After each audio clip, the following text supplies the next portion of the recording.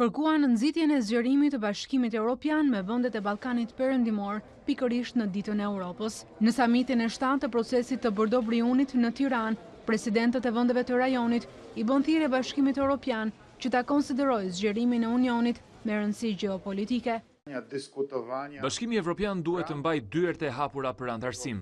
Presidenti slloven nxiti vendet e rajonit të marrin hapat e duhura drejt integrimit, Të gjithë e dinë që pas zgjedhjeve të Parlamentit Europian, procesi i zgjerimit nuk do të jetë në nivelin e lartë të rendit të ditës, prandaj është në dorën tonë që të ndërmarrim hapat në mënyrë që ky rajon të jetë më tërheqës për Bashkimin Europian. Shqetësim se Bashkimi Europian po krijon një vakum të rrezikshëm në Europën Juglindore, ngriti presidentja kroate.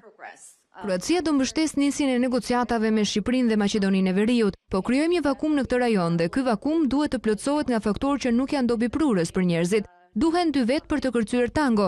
Ne do t'ju shtyjmë në këtë rrugë, por edhe ju duhet të ndërmerrni hapat e nevojshëm. Samiti i Brdo-Briunit nuk arriti të afronte mundësitë për rinisjen e dialogut mes Kosovës e Serbisë. Presidenti Meta theksoi nevojën e rinisjes së këtij procesi. Të gjithë do të donim që dhe dialogu Serbi-Kosovë të kishte përfunduar dje, jo sot dhe as nesër,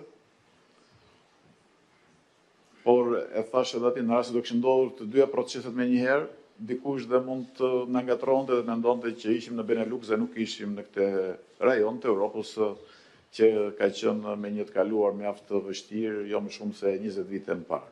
Shefja e politikës së jashtme të Bashkimit Europian, Federica Mogherini dhe presidenti i Polonisë, Andrzej Duda, që do të mirëpresë samitin e ardhshëm të Procesit të Berlinit, ishin të ftuarit e nderit në samit. Samiti i radhës i Brdo-Briunit do të mbahet në nëntor në Slloveni.